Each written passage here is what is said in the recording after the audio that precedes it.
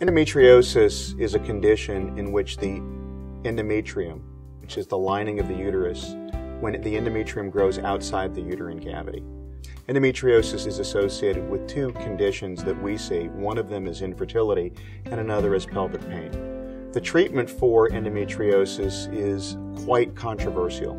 In the case of infertility therapy, it's hard to demonstrate that surgery alone increases pregnancy rates for patients that have early stage disease. Now, most patients with endometriosis, in fact, have early stage disease. There have been multiple studies that demonstrate that surgery for patients with early stage disease does not increase fertility rates.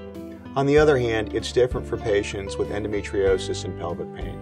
There is plenty of data that demonstrates that surgery for these patients with destruction of the endometriotic lesion or removing, that is, resecting the endometriosis, improves the pelvic pain.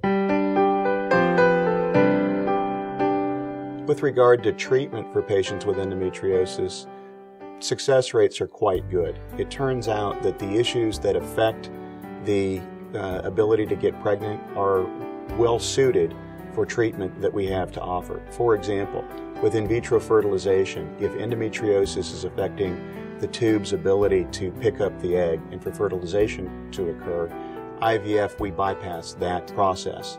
In addition, for patients that are concerned about uterine receptivity issues, there is a concern that perhaps the embryos will not implant in the uterine cavity. With hormonal therapy, it's been demonstrated that we can overcome that quite easily for patients that have endometriosis.